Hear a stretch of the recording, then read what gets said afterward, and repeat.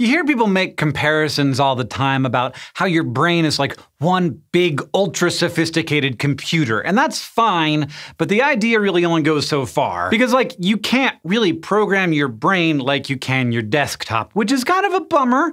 I want to know Kung Fu. And if we could just get in there and start manipulating neurons, we could solve a lot of the struggles our brains and bodies cause. But what if we could do that? Recently, scientists working with mice have been able to send new signals into their brains, ones that seemed so natural, the mice may have no idea they weren't their own. It seems a little sci fi, but it's real research, and someday it could lead to some pretty amazing new treatments. These studies center around a branch of neuroscientific research called optogenetics, which makes use of light sensitive proteins inserted into neurons through genetic manipulation. Once the proteins are there, research researchers can control the firing of those neurons using just a flash of light. We actually did a whole episode on the mechanics and history of optogenetics that we'll link to after this, but the general idea is that this method alters what certain receptors on cells respond to. Instead of waiting for a chemical neurotransmitter to tell them to do their job, an altered receptor will take the command from a flash of light transmitted through a wire. When optogenetics first entered the scientific literature in 2005, the initial technique involved flooding a relatively large area of the brain with light to activate it. This is still generally the way it's done for now, and it does work. With it, we've been able to get groups of neurons to fire and even induce behavioral changes in rodents. Like one experiment used optogenetics to get rats to walk in circles, which is pretty amazing, also a little upsetting. Why is it I have to do this now? This is my life.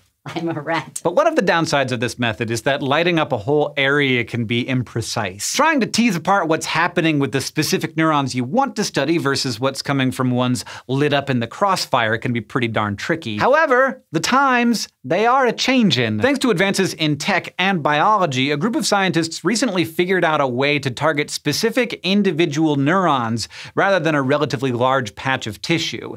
They published their results in April 2018 in the journal Nature. And brace yourself for some sci fi, because they're doing it using holograms. Visual holograms, the kind you see in Star Trek or Star Wars, use multiple beams of light to project an image. But holography in general is really just about light interference, and that's what this technique relies on. The team called their method 3D SHOT, which stands for Three Dimensional Scanless Holographic Optogenetics with Temporal Focusing, which I'm glad they have such a good acronym for that. Unlike the original optogenetics technique, 3D shot focuses light from several sources on individual target neurons. Only the specific neurons in the tiny area all the light crosses receive enough light to activate. That can eliminate a lot of unintended firing, so these results are much less muddy. And it seems effective. Scientists using this method have already observed mice brains firing at a natural timing and frequency when stimulated. They can tell based on the amount of calcium the cells are using, which is a good estimate for the rate of neural firing. And because that firing appears to really closely mimic the way their brains would naturally detect and process stimuli,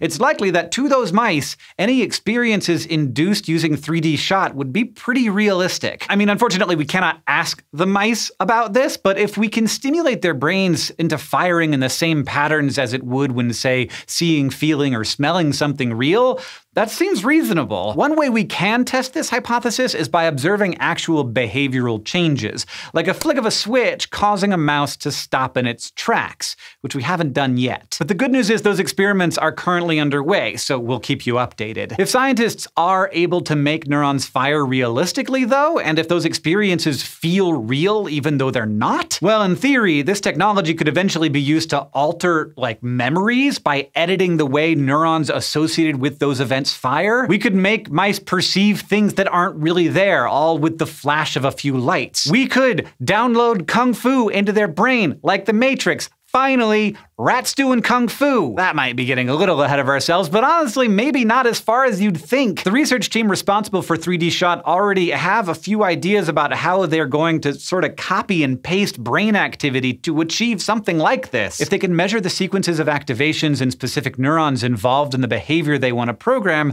3D Shot could feasibly send that pattern into a different brain. Basically, programming it brain programming. Now, even if we're making great progress with mice, applications in humans are likely a very long way off. Optogenetic methods require specific light sensitive proteins to be placed into the genome, which could get risky. But if we could do it safely, that would be like hugely useful, not only for research, it would be for research, but also for future treatment options. Think about it, if we could design a prosthetic eye that picked up visuals from the world and transformed them into the right patterns of neural firing, you might be able to restore someone's vision. That's just one out of thousands of examples, but we have a lot of work to do before we can get there. So I'm sorry if you wanted to download like very good dancing skills.